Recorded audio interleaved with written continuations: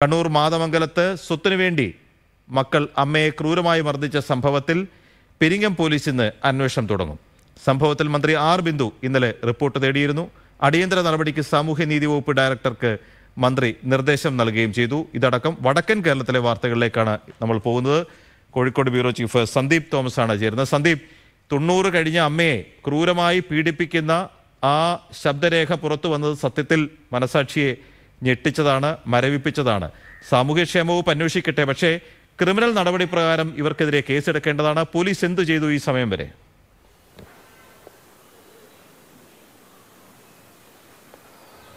P G good morning.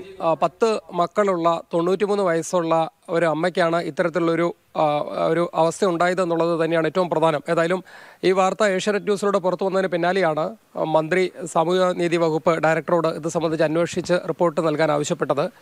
സമാന്തരമായി Perungome police കേസെടുത്ത് അന്വേഷണം നടത്തുന്നുണ്ട്. ഈ അമ്മയുടെ പത്ത് മക്കളുള്ള അമ്മയാണ് ഇതിൽ മരിച്ചുപോയ മകൾ ഓമനയുടെ സ്വത്ത് കൂടി തങ്ങളുടെ പേരിലേക്ക് വേണം എന്നാവശ്യപ്പെട്ടാണ് നാല് മക്കൾ ഇത്തരത്തിൽ അമ്മയെ ദേഹോപദ്രവം ചെയ്യുകയും പീഡിപ്പിക്കുകയും എല്ലാം ചെയ്തത്.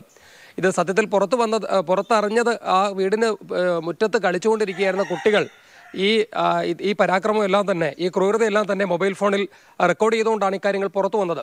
ഏതായാലും ഈ നാല് മക്കളുടെ പേരിൽ പെരുങ്ങോ പോലീസ് കേസെടുത്ത് അന്വേഷണം തുടങ്ങിയിട്ടുണ്ട്.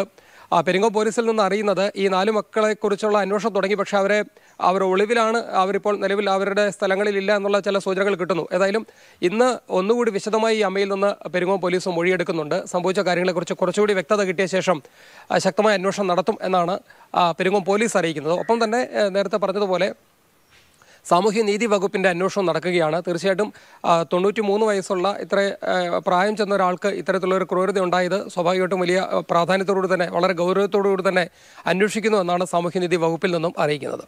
P G.